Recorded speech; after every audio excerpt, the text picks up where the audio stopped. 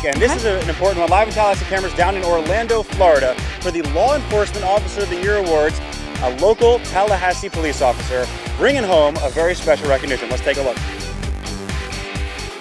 Investigator Rohrbacher is a 16 year veteran of the Tallahassee Police Department. In the last four years, he has worked in the Financial Crimes Unit. The Florida Retail Federation is pleased to honor him for his dogged pursuit of justice, his sustained outstanding work ethic, and his exceptional collaborative efforts.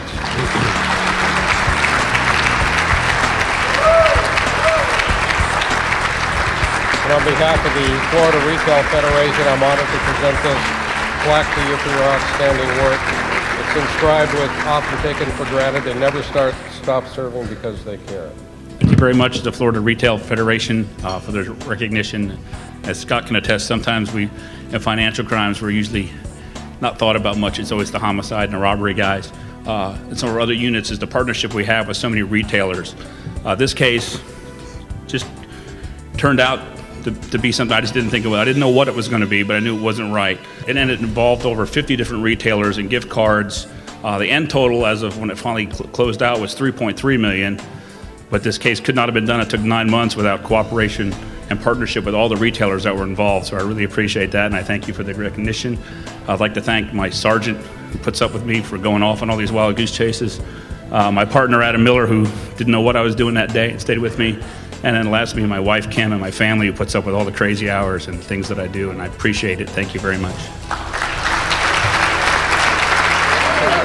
My grandparents were there. It was a great honor to be to be recognized by the uh, Retail Federation. Uh, all the work you know officers do on cases like this with partnerships with the Retail Federation. Uh, I think a lot of times people in the community forget all the work that's involved with both sides. Uh, my case took 50 different retailers working with me along with the you know U.S. government, the Secret Service.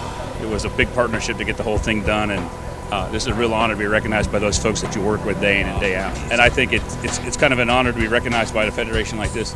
Uh, when people realize they don't realize how much money and the, the cost, the effects it has on the economy, and your real world everyday stuff. That there's millions and millions of dollars. This one case started off being nothing. Me just following a guy around and ended up being three million dollars worth of fraud.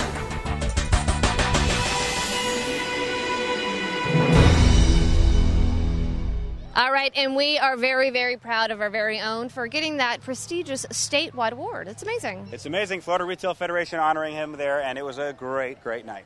All right, we're going to go to break. We'll be right back. Stay with us.